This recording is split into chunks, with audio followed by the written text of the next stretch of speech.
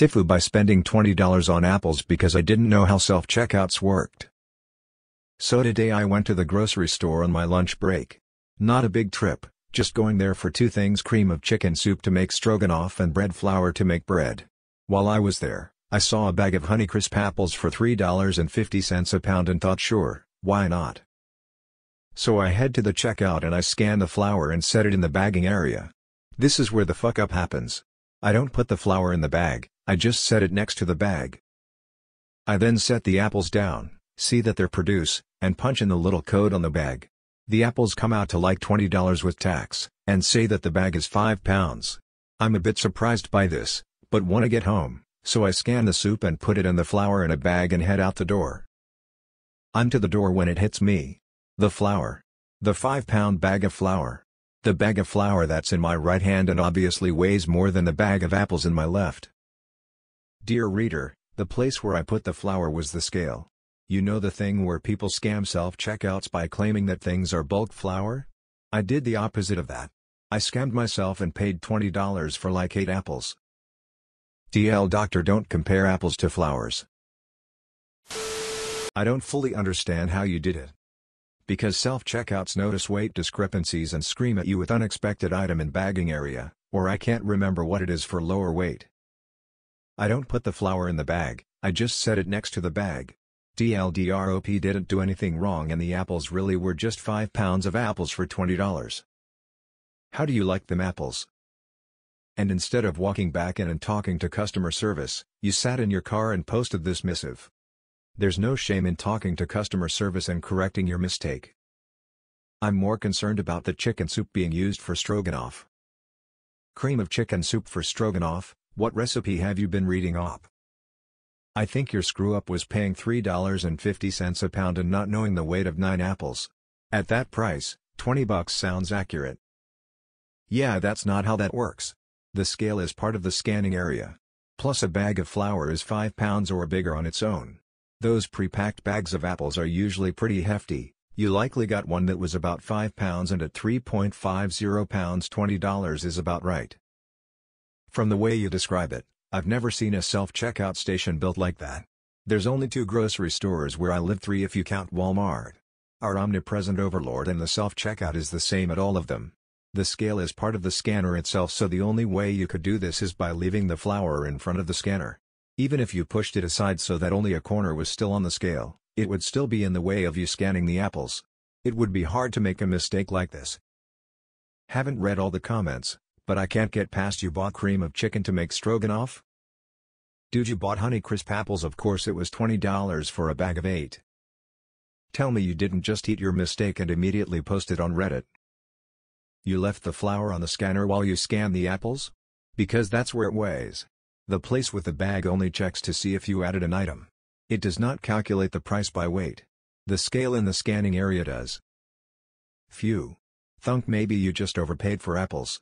Lol only way I'm paying 3.50 a pound is if I get to pick it straight off the tree. And that only happens once a year around here. Lol. It's one apple, Michael. How much could it cost? Wait, the scale is the scanner.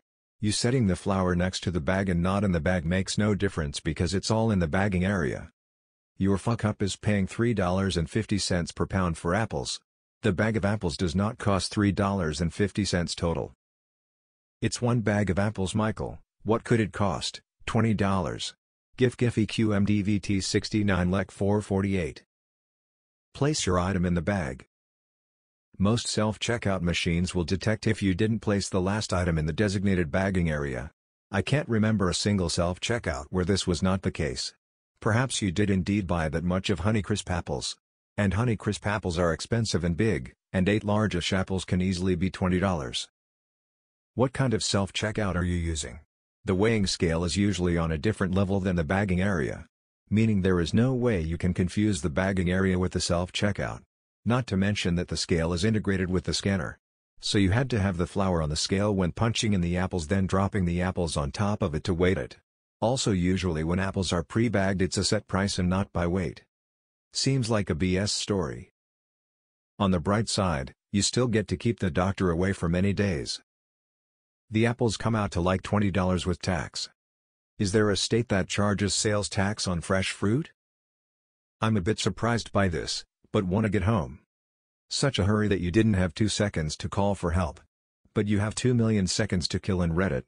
Lol. I got pretty mad at myself last time I went to Whole Foods. I bought $20 worth of apples, and when I got to the parking lot, I tripped and dropped both of them. I mean it's a bag of apples, how much could it cost? $20? Why would you post this? I would never have paid $3.50 for a pound of apple in the first place, that's like buying steak. You saw that there was a discrepancy, regarding the weight and the cost of the apples, you actually stopped noticed, you were startled, and you didn't think of going back with the receipt or flagging down the employee on the floor? Seriously? You don't just fuck up, you wanted to fuck up lol. Bullshit. The Tifu is using self-checkout at all. Where I live the flagship Walmart in town is accusing anyone who screws up self-checkout of shoplifting. Literally calling the cops on every single one, banning them from the store and forcing these people to go to court. Just for making a mistake. Not because they were actually stealing. Their loss prevention staff are required to catch a certain number of shoplifters per shift so they'll target anyone they can.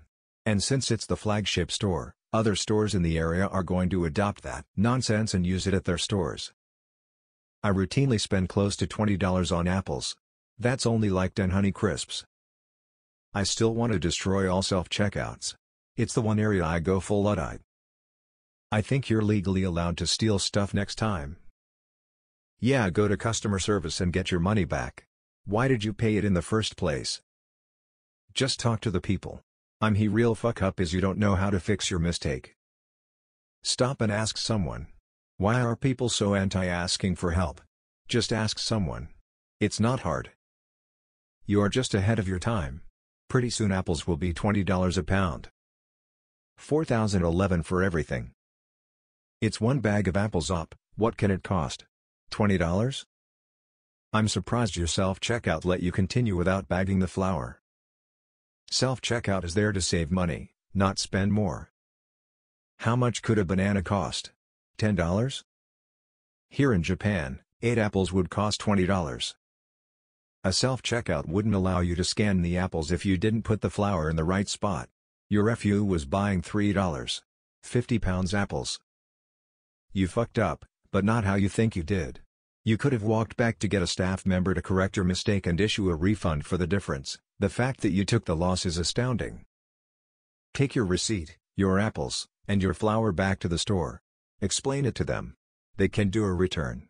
If you bring the two items they can confirm how the flour's weight, when added to that of the apples, exactly yields the price you paid. I mean, I wouldn't bother, because $20 doesn't move the needle for me, but if it does for you, go back. If you actually did screw up, go talk to someone and fix it. Good grief. Apple's doing an Apple thing of overcharging, smiley face. I never go through self-checkout with produce. I don't know if I have Cosmic Crisp or Rome apples or whether they are organic. I refuse to use self-checkout. I don't work for them and haven't been trained to be a cashier. They don't even offer a discount for doing free labor for the corporation. If there is no open cashiers, I leave, or check out at customer service if somebody is there. Talk about first world problem. This is George H. W. Bush levels of disconnect. First buying expensive apples and not having a good sense of what a few apples should cost, second by not knowing how to use a self-checkout. Anytime I buy produce from Walmart I find the cheapest veggie and say that the jalapenos I'm buying is white onions and save $2 per pound. And if you get caught just say it was an accident and pay the difference. I once rang a customer up on self-checkout and charged her for 60 instead of 6 apples. We had to manually refund 54 apples. It sucked but she got her money back. Did you at least get the good apples? Did you take them back or grudgingly eat your apples? I hope they were tasty if so. At least you got the Rolls-Royce of apples. You might take solace in the fact that rare apple varieties cost more than that. Just pretend you are eating some gourmet rare-grown variety as you dig into the stupid Gala or Red Delicious. I've unintentionally stolen things from Safeway on my last two shopping trips because of self-checkout. Were the apples good at least? Ha ha ha they'll ring it up as an apple trick in reverse. If you go back to the supermarket they should be able to correct it for you. And the balance in the force returns. Apples are pretty heavy. My first week in Korea I bought 3 bananas for $15. I knew I did something wrong on the self-scan, but was too embarrassed nervous to ask someone for help, plus didn't know any Korean, and didn't want to try and explain the situation to anyone. Paid for M and never used the self-scan for loose items again. Also never told the story to anyone until now.